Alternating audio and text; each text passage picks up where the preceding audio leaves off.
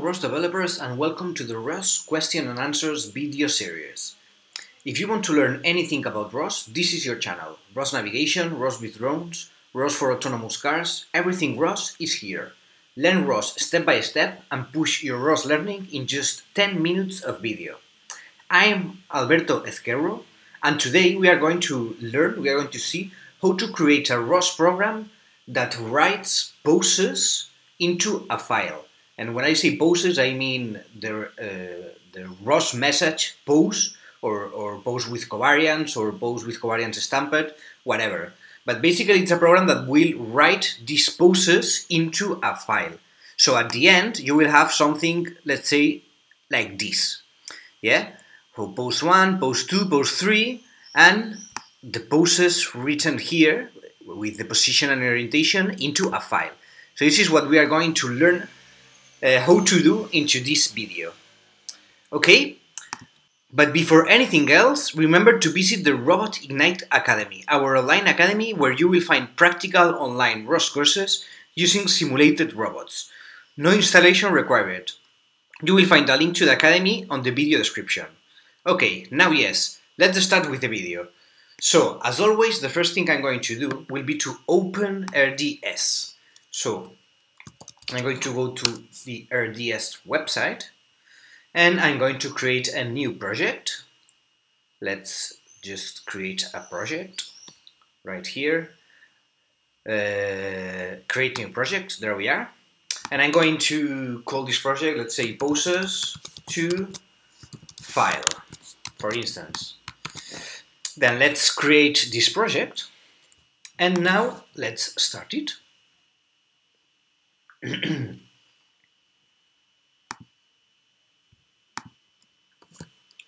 there we are. Now let's wait a few seconds until the whole environment loads. There we are. So yeah, let's open an IDE in order to visualize our files. And let's also open a shell to get started. Great. So for this one, I'm going to create a ROS program. So basically, I'm going to place this program in the Catkin workspace. Yes, because uh, this is anything related to artificial intelligence. It's not a notebook, neither a Jupyter notebook, and I'm not going to work directly with a simulation into a simulation, modifying things of a simulation. So basically, I just want to create ROS programs, and this goes into the Catkin workspace. So I'm going to go to the Catkin workspace, the SRC folder, and I'm going to create a new package, which I'm going to call, let's say, poses to file. Let's put it uh, with the rospy dependency. There we are. So now here it will appear this poses to file package. There we have it with a source directory. And let's create here a file, which I'm going to call poses to file.py. There we are. Let's see if this has execution permissions. It doesn't, so I'm going to give it execution permissions, poses to file. There we are. Excellent. So, yeah, now I'm going to write here the program. I'm going to copy it and I will explain it. Uh, you will see that it's very, very easy. So, there we are. Okay, I have just copied here my, my Python script. And yeah, as you can see, this is a, cl a class which I have called save poses. Yes. And inside this class, I have the init function, a callback for a subscriber, and a small function which is called write to file. Yes. So basically, when I create here, as you can see here, I just initiate a node into the main. I just initiate a node, and I create uh, an object of this class, of the save poses class here. So when I create this uh, object, I will come directly here and basically here what I am doing is I, I am uh, creating, initializing a dictionary, a Python dictionary with uh, three elements, pose 1, pose 2 and, and pose 3. These elements are poses, as you can see, yes? So I am importing here the geometry message pose, and each of these uh, poses, pose 1, pose 2, and pose 3, will be a pose object. Yes, then here I have a subscriber to the ODOM topic, which is where I am going to take the poses from, from the ODOM topic. And yeah, so the ODOM topic, and here I am defining the callback for this uh, ODOM subscriber, ODOM topic subscriber. And in the callback, as you can see, it's very, very simple. The only thing I do is to put the pose part of the message into this variable, into the self pose. So let me, one second, let me start a simulation so that you can understand this a little bit better. Because maybe some of you get lost here. So, okay, now let's keep it, let's keep it here. Okay, so yeah, here basically I'm starting a simulation of a TurtleBot 2 because I want to show you uh, some things regarding this ODOM topic. Okay, so yeah, here we have the simulation. Excellent. So within this simulation, if you do a ROS topic list, you will see that there is a topic which is called ODOM. Yes? Then this topic, let's have a look at one of the messages. ROS topic echo ODOM minus N1. There we are. It's a huge message. It has many things. It has the header. Here it has a pose, covariance, a twist. Okay. Then what I am doing. Okay, let me put this here. So as you can see, what we are interested in is basically in the pose, which is this part of the message here. Yes, the position and the orientation of our robot. This is what we are interested in, basically. Because what we want to have, as I've showed uh, at the beginning of the video, we, we want to have a, a file like this one, which says position and orientation. So basically we're interested in this part here of the message. Yes, the position and the orientation. Then, what I am doing here in the sub callback, in the callback of this in the callback of this ODOM subscriber is to basically take only this part of the message. Because if you come here and have a look at the structure of a of an odometry message, Yes, without all the values, just the structure. Here we have it. As you can see, we have this header part here at the beginning, which is this part here. Yes, this is the header section, let's say.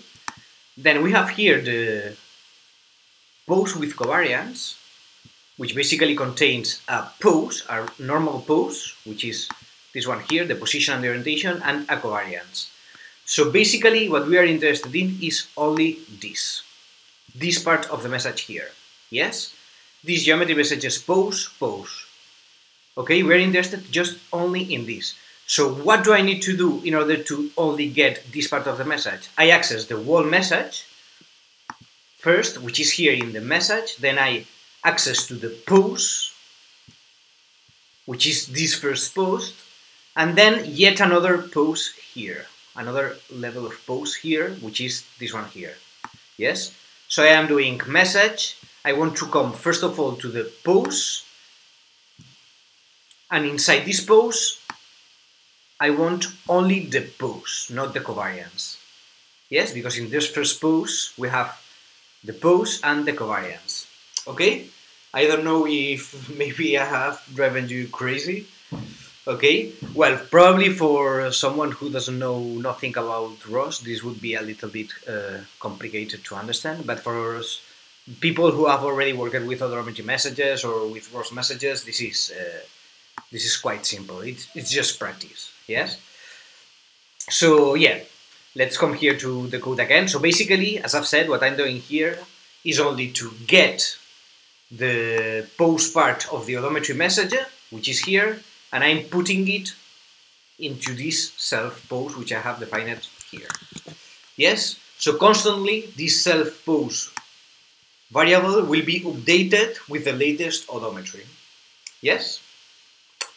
because each time a new ODOM message uh, is published, this sub subcallback will be called. So the message will be always updated. Okay? Then finally what I do is to call this write to file function, which I am defining here and which is very, very simple. What I am doing basically is to, I'm doing sleep, a sleep of 5 seconds, and then I'm putting the pose that I have stored in this self pose variable, I'm putting it into the dictionary, into the key pose 1. Yes? Then I wait 5 seconds and I put again the new pose that I have stored here into the pose 2 key of the dictionary. And again, I wait 5 seconds, I do a time here sleep, and I store the new pose of the odometry into the pose 3 key of the dictionary. Yes? So basically I am filling these three uh, poses of my dictionary. Yes? And between them I am just uh, sleeping 5 seconds.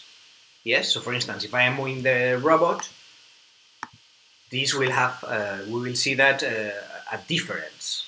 Yes, so for instance, here I will be at x1, here I will be at position x2, etc. Okay? Then, after this, once I have my dictionary with, with all the poses, I execute this part here of the code, which basically creates this, opens this poses.txt file in order to write it and then here I iterate through the dictionary, through my dictionary, this poses dict dictionary. Yes, I iterate through all the the the keys, the objects that are into this dictionary, and I write them into the file. Yes, this is basically Python code. Doesn't have much to do with ROS, but uh, you can search uh, out there how to write poses into how to sorry how to write a dictionary into a file yes the only special thing here is that I, I have to convert everything to str as you can see I am calling here the str function for the key the key is this uh, so the key is this post 1 post 2 and post 3 and the value is whatever it, it's associated with this key. Yes? So I, I am converting these keys and these values to strs because if not, I, I will not be allowed to write, write them. Yes, they need to be strings in order to be to write them into a file. Yes, that's why I'm doing this. And this is basically some separators to make it more beautiful, as you can see. Yes, to separate everything a little bit. And yeah, so that's it. It's very, very, very simple, as you can see. And now let's test it. Let's see if this works. Okay, so let's uh, test it. Let's go to the... Um, I'm going here in order to save my file here into my package. So now let's yeah let's execute our program. So poses to file, run poses to file, poses to file. There we are. Let's execute it and wait for all the the sleeps that we have. So there we are. Written pose one. Now five seconds. There we have pose two and then after 5 seconds we have pose 3, there we are, pose 3, and return all poses to poses.txt file. Excellent, and as you can see, here we have now this poses.txt file, also here. It has appeared also here in the IDE, so if, you have a, if we have a look at this file, we will see that it has written our poses, pose 1, pose 2, and pose 3, to our uh, to this poses.txt file. As you can see, everything is 0, 0, 0, because we haven't been moving the robot. This is also a, a negative exponential, so it's a 0. All of these are zeros. Yes. So yeah, everything is to zero basically because we haven't been moving the robot. So the robot has been uh, static all the time. So the poses are the same. But for instance, we could create a program that keeps moving the robot, uh, doing a square or doing a circle, and we, we could uh, execute this program and you would see that the poses are different, vary. Okay, I will leave this up to you because I just wanted to explain how to do this program in order to write the poses to a to a txt file. And yeah, that was all. In the description of the video you will find a complete course about in the description of the video, you will find a link to the Robot Ignite Academy, as I've said before, and I will also link our ROS navigation course, which includes exercise similar to these ones of managing poses, writing them to files, so I will put all of that in the description. Also, did you like the video? If you did, please give us a thumbs up and remember to subscribe to our channel and press the bell for a new video every day.